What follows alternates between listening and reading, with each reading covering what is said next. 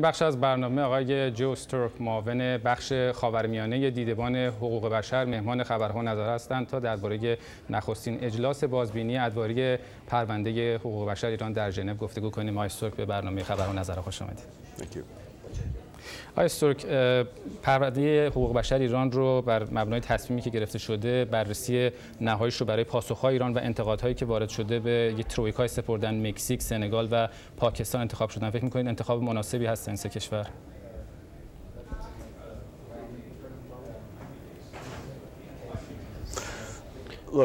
نگاه کنید ایران در شورای حقوق بشر سازمان ملل متحد حاضر شده سالها پیش این قضیه قرار بود که انجام بشه و دیروز انجام شد. اکنون زمان مناسبی است با توجه به اتفاقهایی که در طی ماههای 7 8 ماه اخیر افتاده بعد از انتخابات ریاست جمهوری زمان بسیار مناسبی برای بررسی پرونده حقوق بشر ایران هست. این پرونده نامناسب بوده. در طی ماههای اخیر بدتر شده. وضعیت حقوق بشر ما آگاهیم از آنچه که مقام های ایرانی گفتند در رابطه با حقوق بشر در ایران که به نظر می‌رسه عدم ارتباط با واقعیت از جانب مقام های ایرانی هست البته. استورک ایران قراره که فردا پاسخ بده به این ارزیابی توصیه های ترویکا.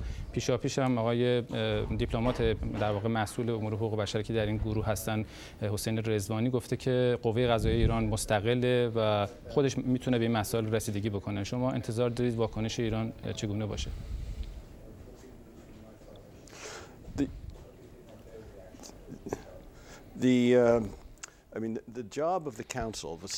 وظیفه شورای حقوق بشر سازمان ملل متحد بررسی وضعیت و پرونده حقوق بشر ایران هست طرح پیشنهادات هست در این زمینه به ایران. ما توانیم پیشنهاد می توانیم پیش بینی کنیم که این پیشنهادات شبیه آنچه خواهد بود که ایالات متحده و ما طی ماها و سالهای اخیر به ایران دادیم با توجه به آنچه که سازمان ملل متحد در رابطه با حقوق بشر و رعایت حقوق بشر ارائه داده طی قطعنامه هایی که در این رابطه داده پیشنهادات در اون رابطه خواهد بود به نظر می‌رسه که دولت آقای احمدی نژاد در رابطه با مسائل حقوق بشر وجدان لازم رو به خرج نداده و در این رابطه مسئولانه عمل نکرده و به نظر می‌رسه پیشنهادهایی که در رابطه با وضعیت حقوق بشر داده خواهد شد بر اساس قطعنامه ها و در واقع چارتی خواهد بود که سازمان ملل داره و آنچه که ما هم پیشتر خواستیم در رابطه با وضعیت حقوق بشر در ایران از جمله از جمله شفافیت لازم در رابطه با اجرای حقوق بشر و طرح وضعیت و نقض حقوق بشر در ایران و این چیزی بوده که پیشتر ارائه شده و اکنون هم ایران باید انجام بده. استورک ایران ماه می قراره که در واقع درخواست خودش رو پیگیری بکنه برای عضویت در شورای که 47 کشور عضو شورای حقوق بشر هستن. فکر می‌کنه با توجه به این انتظار ایران برای عضویت در شورای حقوق بشر ممکنه که پذیرش بعضی از این انتقادات رو داشته باشه و این توصیه ها رو به عمل بگذاره.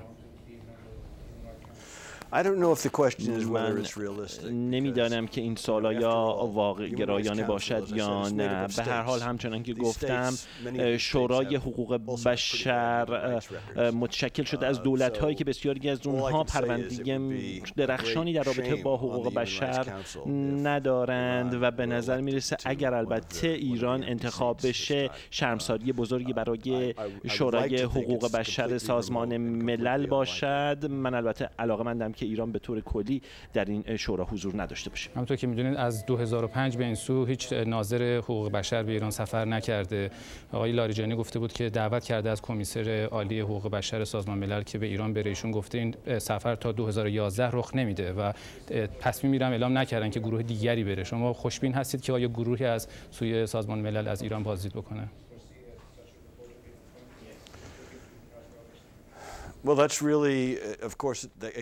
این مسئله البته هم مثل بقیه مسائل مربوط به وظایف شورای حقوق بشر است. ما فکر می کنیم که اگر که ایران باید توجه داشت که سالها پیش ایران خواسته بود از شورای حقوق بشر که در رابطه با مسائل مختلفی از جمله مسئله مثلا شکنجه در ایران بررسی هایی صورت بگیره بازرسانی به ایران قرار بود بیان ولی رخ نداد.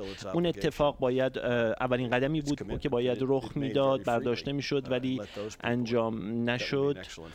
و همچنان باید گفت که اون اولین قدمی هست که باید صورت بگیره. استورک ایران انتقاد می‌کنه میگه حقوق بشر رو غرب به ویژه به عنوان ابزار و اهرام سیاسی ازش استفاده می‌کنه اشاره می‌کنه بعد از انقلاب 57 این عمل انجام گرفته.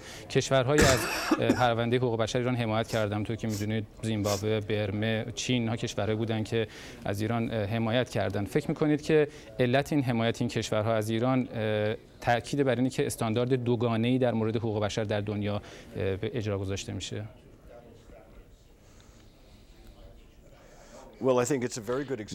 این مثال ها البته موارد روشنی است از استاندارد دوگانه در رابطه با مسائل مربوط به حقوق بشر است. ولی در رابطه با این کشورها علت این کشورها از ایران حمایت می‌کنن آن است که خودشان پرونده درخشانی در حقوق بشر در داخل کشورهای خودشون ندارند این کشورها می‌دانند که در واقع بررسی وضعیت حقوق بشر در ایران مقدمی رو فراهم می‌کنه که کشورهای خودشون هم مورد بررسی دقیقتر وضعیت حقوق بشر اون کشورها مورد بررسی دقیق تری قرار بگیرن. البته باید توجه داشت که اون کشورها. به هر حال وضعیت حقوق بشرشون مورد بررسی قرار خواهد گرفت. باید توجه داشت که این اقدام اگر که نگرانی هایی باشه برای وضعیت حقوق بشر در کشور خودشون در واقع تخطی از وظایفشون هست به عنوان اعضای شورای حقوق بشر سازمان ملل. آقای جستوک تشکر می‌کنم از حضورتون در این برنامه. دوست داشتم در مورد گزارش شما هم صحبت می‌کردیم. امیدوارم در فرصت بعدی بتونیم به گزارش 19 صفحه‌ای که اخیرا منتشر کرده دیدبان حقوق بشر صحبت خواهیم کرد. با سپاس از آقای جستوک و تشکر از هومن سیسان و هومن بختیار برای برگردان این گفتگو.